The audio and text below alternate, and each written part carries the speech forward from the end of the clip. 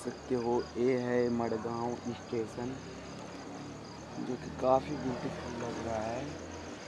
तो दोस्तों, आज है सिक्स फरवरी और आज है मेरा ट्रेन जो कि है गोवा। मुगल सराय से गोवा तो आज हम जाएँगे गोवा और आपको आने वाले वीडियोस में गोवा के बहुत सारे अमेजिंग इंटरेस्टिंग ब्लॉग्स देखने को मिलेंगे। तो अभी तक इस चैनल को सब्सक्राइब नहीं किया है तो अभी सब्सक्राइब कर लो। तो अभी टाइम हो रहा है दो उनसठ और मेरा ट्रेन है पाँच पचास से। तो अभी जाएँगे और आपको दिखाएँगे सारा कुछ ब्लॉग में। तो अभी मेरा दोस्त अभी आने वाला है तो ये लो, मेरा दोस्त भी आ गया नंदू तो इससे हम थोड़ा सा मिलेंगे। अभी तीन बज रहा है तो आधा घंटा में हम मिलेंगे तो ये रहा मेरा दोस्त नंदू तो जो कि मुझसे मिलने आया है। थैंक यू यार।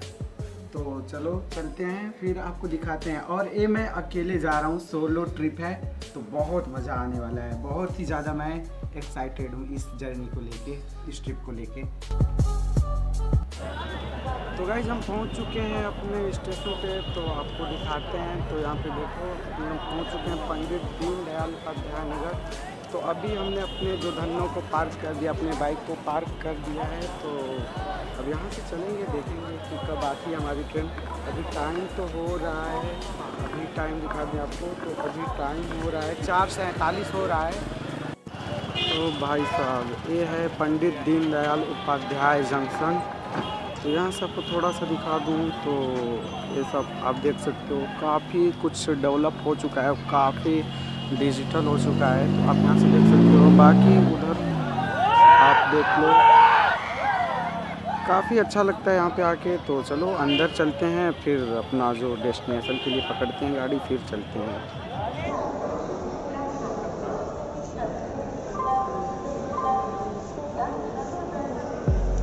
पंडित दीनदयाल उपाध्याय और हमारे सरदार वल्लभ भाई पटेल।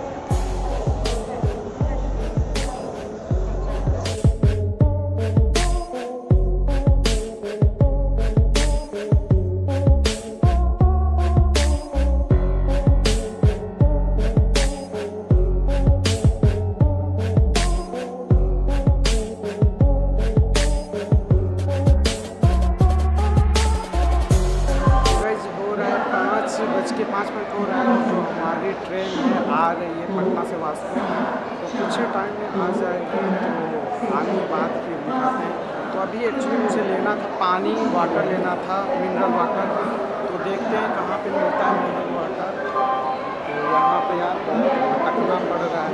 तो देखते हैं किधर मिलता है पानी। लगता है उस पार जाना पड़ेगा।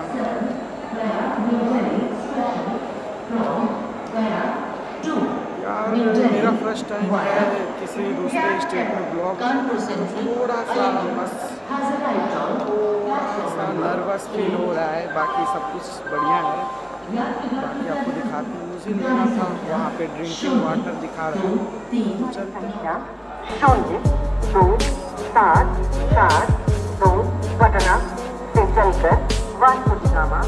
जाने वाली कुछ ही समय में प्लेटफॉर्म क्रमांक चार पर आ रही है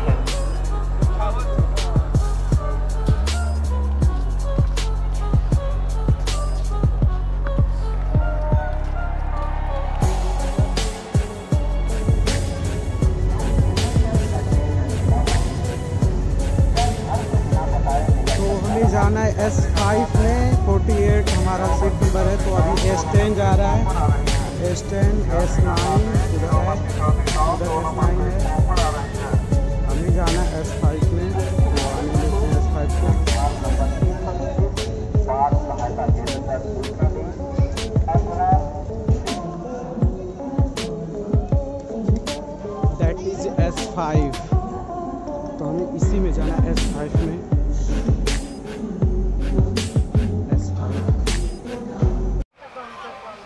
फाइनली तुम्हारा बाइक पहुँच चुका है ट्रेन के अंदर। तो मुझे वाली सीट अलॉट हुई है तो वहाँ पे देख सकते हो, थोड़ा सा आपको दिखा दूँ।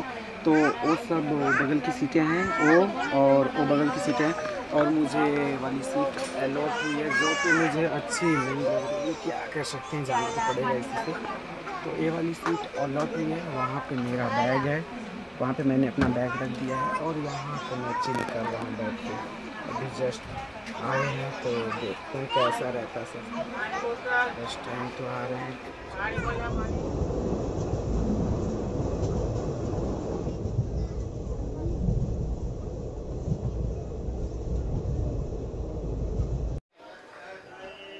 सो so गाइज़ आज लास्ट डे है इस ट्रेन में मेरा तो अभी टाइम हो रहा है दो तैंतीस और कुछ ही मतलब आधा एक घंटे में पहुँच जाएगी वास्को और वहाँ पे मुझे पिक करेंगे, एक भैया हैं, मेरे भैया लगते हैं।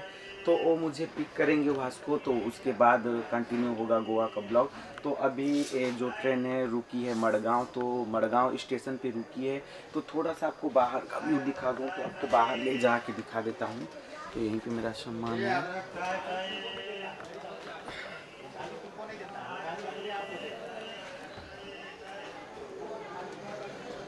आपको थोड़ा सा बाहर का व्यू दिखा दूँ तो आप देख सकते हो, ये है मड़गांव स्टेशन, जो कि काफ़ी ब्यूटीफुल लग रहा है। तो गाइज़ ये है मड़गांव स्टेशन, मड़गांव जंक्शन। इस साइड का व्यू देख लें थोड़ा सा।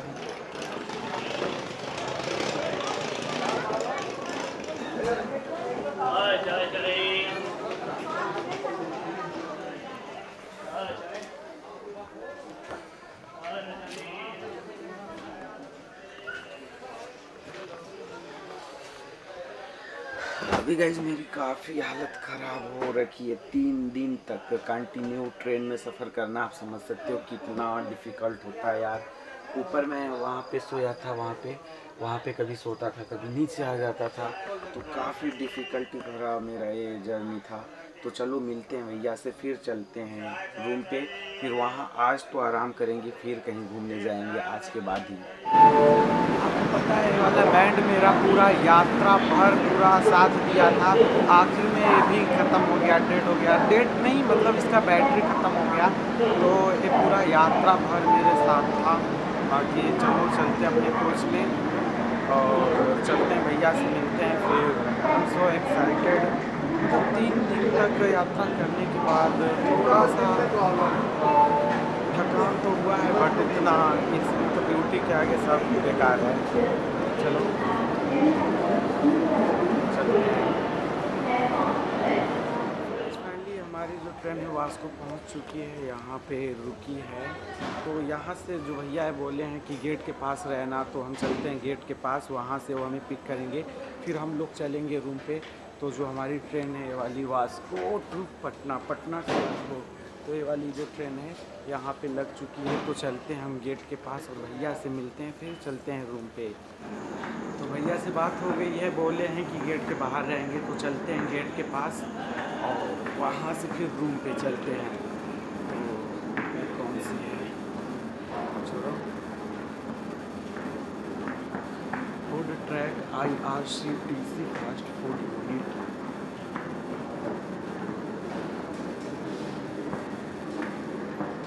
तुम्हारा भाई वास्को द गामा रेलवे स्टेशन से बाहर आ चुका है और यहाँ पे भैया का हम वेट कर रहे हैं और यहाँ पे हमें मिल गया ओयो। स्टेशन से निकलते ही हमें ओयो रूम्स मिल गया। खैर, छोड़ो, ओयो हमें तो जाना है नहीं, हमें जाना है भैया के साथ उनके रूम पे। फिर वहाँ पे थोड़ा सा आराम करेंगे, फिर आगे का ब्लॉग कंटिन्यू करेंगे। काफ़ी थक चुके हैं यार मतलब अकेले ट्रैवल करना काफ़ी डिफ़िकल्ट होता है। अगर आप अकेले आ रहे हो इतना दूर कहीं दूर जा रहे हो तो मैं यही सजेस्ट करना चाहूँगा सजेस्ट करना चाहूँगा कि आप किसी के साथ अपने फ्रेंड या फिर किसी के साथ तो भैया भी आ गए हैं तो यहाँ से चलते हैं हम बैठते हैं बाइक पे और चलते हैं रूम पे सीधे डायरेक्ट हम्म, चलिए